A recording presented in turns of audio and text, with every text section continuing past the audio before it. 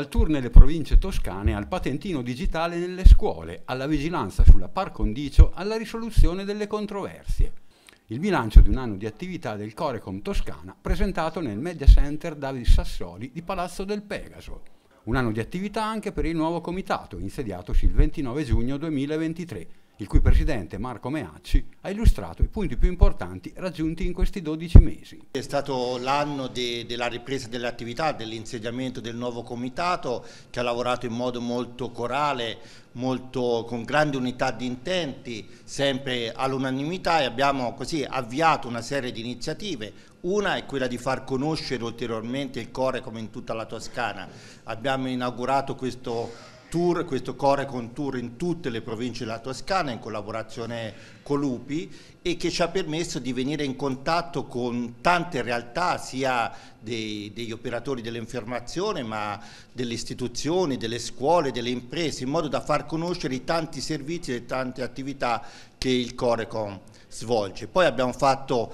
vari momenti formativi in vista della par condicio con l'ordine dei giornalisti, abbiamo messo in piedi quattro iniziative in tutte le aree più importanti della Toscana di formazione per la par condicio che chiaramente è stato uno degli impegni maggiori degli ultimi due mesi di, di, della campagna elettorale il Corecom ha svolto una funzione di vigilanza, di, di controllo, di,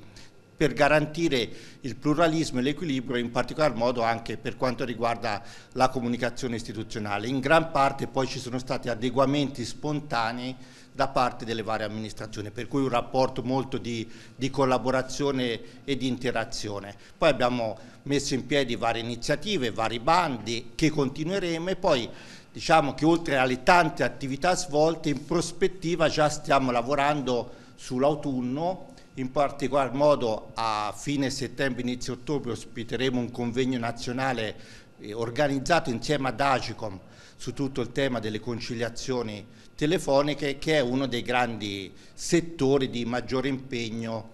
di, del Corecom. E poi faremo gli stati generali dell'informazione, abbiamo già dato l'incarico a IRPET di fare un'indagine conoscitiva e recognitiva su tutto il sistema dell'informazione in Toscana e poi anche rispetto alle conciliazioni, fra l'altro sottolineo che in questo anno sono stati restituiti oltre 800 mila euro ai cittadini e alle imprese attraverso le, le conciliazioni, l'83% si, si, è addivenuti a degli accordi attraverso questa fase, però vogliamo far conoscere sempre di più questo servizio che non sempre i cittadini conoscono, che è un servizio gratuito che Corecom eh, svolge, per cui sulla falsa riga del Corecon Tour poi faremo anche una specie di concilia web tour in Toscana, almeno in alcune delle realtà più importanti e più significative. Sottolineo con particolare soddisfazione a nome di tutto il Comitato anche del rapporto molto positivo sia con la quinta commissione consigliare che con il Consiglio regionale visto che gli ultimi atti de, del Corecon sono stati approvati sempre all'unanimità all'interno de, del Consiglio per cui vogliamo continuare ancora con più impegno, con più entusiasmo perché appunto il Corecon può svolgere una funzione importante a servizio di tutta la comunità toscana. All'incontro erano presenti il Presidente del Consiglio regionale Antonio Masseo e la Presidente della Commissione Cultura Cristina Giachi. Ah, intanto voglio ringraziare il Presidente Meacci, voglio ringraziare tutti i componenti del Corecon per l'importante lavoro che stanno portando avanti per le cittadine e cittadini toscani,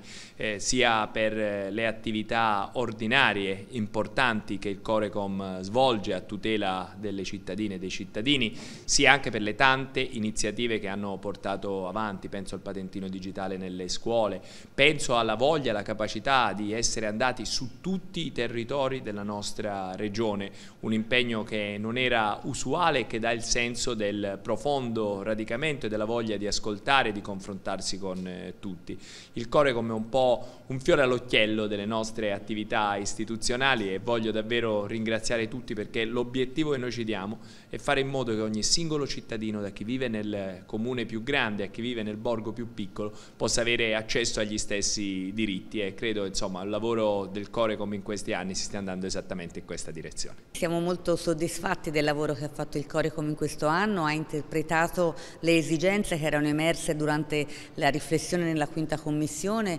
specialmente sul punto del far conoscere meglio ai cittadini e alle cittadine toscane quali sono i loro diritti nel campo della comunicazione e dell'informazione e far conoscere loro che cos'è il Corecom e quanto il Comitato può essere utile a loro per far valere i loro diritti. In più è continuato il lavoro strenuo di, di media education con i più piccoli, con i più giovani, grazie anche alla collaborazione con l'Istituto degli Innocenti e tutto il resto del lavoro prezioso che il Corecom fa per tenere alta l'attenzione sulla responsabilità che richiede comunicare raccontare la realtà e su tutta la gestione del contenzioso per quanto riguarda le, le informazioni e le telecomunicazioni. Devo dire che anche il premio ai comunicatori toscani è stata una bellissima novità che speriamo diventi una tradizione importante perché consente di presentare anche ai cittadini più giovani dei modelli in campo di, di mestieri nel campo dell'informazione e, e di modelli appunto di persone che esercitano il loro lavoro con passione, dedizione, generosità e grande senso di responsabilità rispetto rispetto alla comunicazione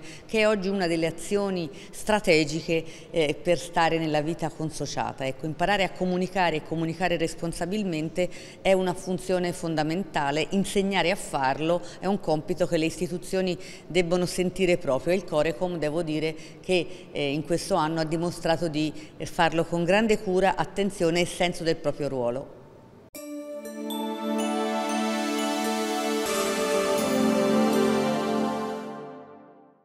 Approvata a maggioranza la proposta di risoluzione in merito all'attività 2023 del Garante dell'Infanzia e dell'Adolescenza. La proposta è stata illustrata in aula dal Presidente della Commissione Affari Istituzionali Giacomo Bugliani. Una proposta di risoluzione che nell'esprimere apprezzamento per l'attività svolta dal Garante si impegna a sostenerne le attività e anche a procedere quanto prima ad un'opera di revisione della normativa dedicata appunto al Garante per l'infanzia. È stato un anno intenso quello del 2023 per quanto riguarda l'attività del garante che si è ancora una volta concentrata su tutte le funzioni tipiche che il garante assume rispetto alla tutela dei minori nel territorio regionale. Significativo è il passaggio che è stato compiuto con tutte le aziende sanitarie del territorio regionale e che ha portato all'approvazione da parte di tutti questi enti derivati del codice etico per la tutela della salute dei minori. Si sono inoltre portate avanti molte delle progettualità che erano già esistenti eh, nel territorio regionale che connotavano l'attività del garante, come ad esempio il progetto che si è concentrato eh, sul tema dell'autismo nei minori e in ogni modo è proseguita l'attività del garante, della dottoressa Bianchi, sia per quanto riguarda la convegnistica a livello nazionale, sia per quanto riguarda l'attività eh, seminariale. Particolare il contributo portato dal garante alla formazione dei tutori dei minori stranieri non accompagnati in quanto l'elenco è stato aggiornato e implementato di ben 38 unità. 20 voti favorevoli, PD, Italia Viva e Movimento 5 Stelle. Noi da sempre sollecitiamo il garante dell'infanzia a fare meglio e a fare di più. Eh, non nascondo il livello di critica che ho sempre portato avanti nei confronti del garante e non ho mai condiviso fino in fondo la politica del garante dell'infanzia perché ritengo che questo debba essere un servizio che possa dotarsi di un'attività maggiore, propulsiva e abbia delle possibilità di agire in termini non soltanto di proposta ma anche di risoluzione delle problematiche che oggi nell'infanzia ci sono non soltanto nella nostra regione, sono ovunque, ma siccome noi l'abbiamo istituito deve essere svolta un'attività più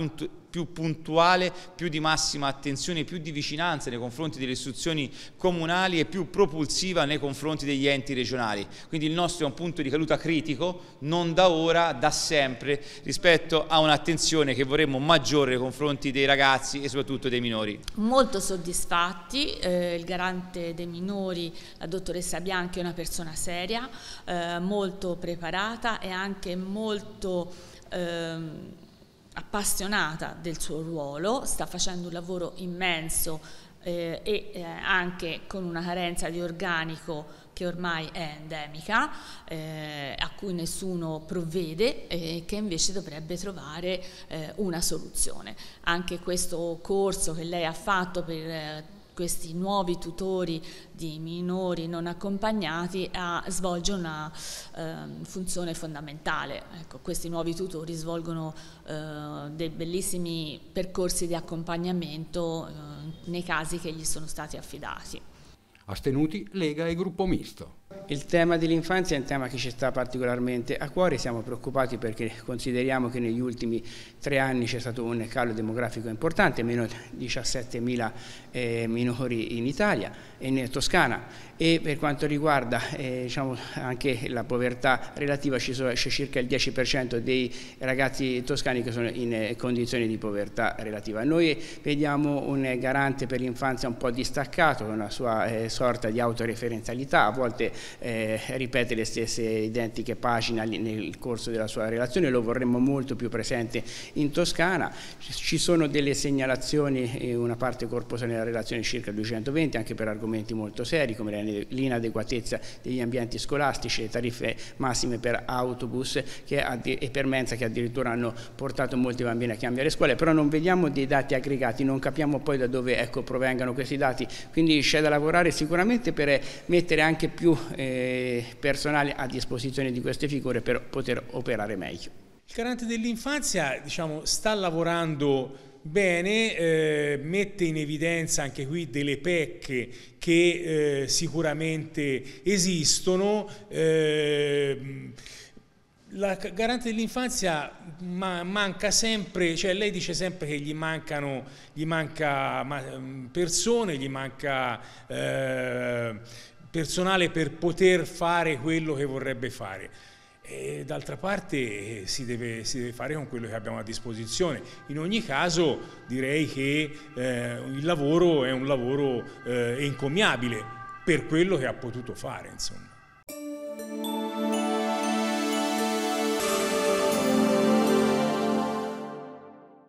Persia-Iran, un viaggio, un'esperienza di vita. Inaugurata negli spazi espositivi Carlo Azeglio Ciampi di Palazzo del Pegaso, la mostra fotografica di Sauro Bani, che racconta un luogo, l'Iran e il suo popolo, oltre gli stereotipi con cui spesso in Occidente si guarda questo paese. È stata un po' una scommessa perché siamo partiti in un momento veramente particolare, era iniziata da poco la protesta delle donne iraniane e siamo andati là con, vabbè proviamo perché ormai era comprato il biglietto e si doveva fare questo viaggio ed è stata veramente un'esperienza unica perché abbiamo avuto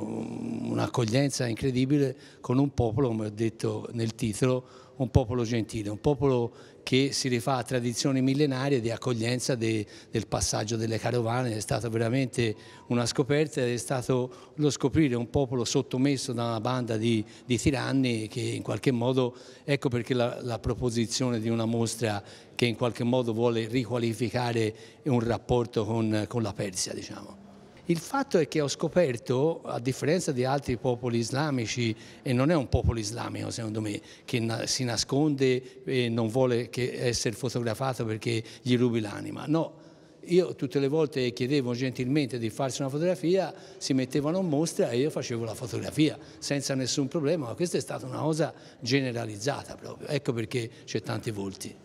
Una mostra nata da un'idea del consigliere regionale Massimiliano Pescini, da poco scomparso, e a lui dedicata dall'artista. Questa è una mostra che ci aveva proposto, chiesto e sponsorizzato, diciamo così, Massimiliano Pescini e ci fa particolarmente piacere, siamo particolarmente orgogliosi di poterla ospitare, è un modo veramente per eh, pensare che Massimiliano è sempre con noi, ci piace parlarne al tempo presente perché Massimiliano è un collega ma soprattutto è un amico, eh, non solo del Consiglio regionale ma di tante parti della Toscana, del Mugello, di tutto il collegio che ha rappresentato in questi, in questi anni. E siamo davvero contenti che questa mostra sia oggi eh, qui a Palazzo del Pegaso, sia arrivata in città come aveva promesso lui eh, all'autore quando si erano incontrati e ci fa piacere che il sottotitolo di questa mostra sia, contenga la parola gentilezza, perché alla fine gentilezza è anche l'aggettivo che meglio descrive Massimiliano, il suo modo di essere uomo, di essere istituzione, di essere consigliere regionale e quindi è davvero un pezzo di Massimiliano che oggi rivive dentro al palazzo e siamo felici ed orgogliosi che sia uno dei tanti modi con cui Massimiliano continuerà ad essere con noi fino alla fine di questa legislatura. Io seguo il lavoro di Sauro che è un mio vecchio amico da quasi 50 anni. Ne conosco il temperamento avventuroso, l'ansia del viaggio, l'inquietudine, la curiosità tutte caratteristiche che in questa mostra sono evidenti. La mostra è importante perché oggi l'Islam per noi è il grande nemico, è il grande demonio, è il male contrapposto al bene occidentale. Eh, questa mostra documenta che le, le civiltà vanno comprese nelle loro radici, non si può semplificare, semplificare porta alla guerra e allo scontro.